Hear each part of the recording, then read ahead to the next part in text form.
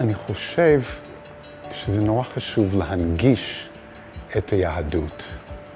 היהדות לפעמים היא נראית רחוקה, בשמיים, והלימודים כאן והכלים שאני קיבלתי, אני מקווה שיאפשרו לי להגיע לכמה שיותר ישראלים ויהודים עם יהדות מסבירת פנים.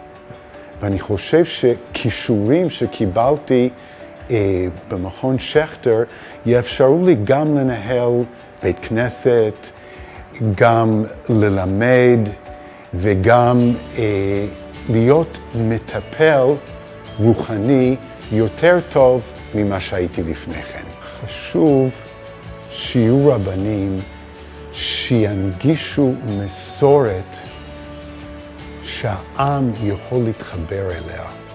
אנחנו זקוקים פחות למנהיגים פוליטיים, יש לנו מספיק. אנחנו זקוקים למנהיגים רוחניים. אני זכיתי אה, לבלות אה, חלק מההכשרה שלי בתוך הקהילה בנווה צדק. ואני ראיתי וקיניתי בעבודה של הרב ארביב. גם קירוב יהודים, גם לימוד מקורות,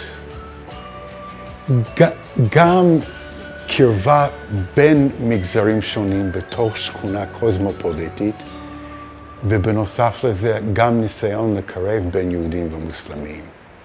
בשביל זה צריכים.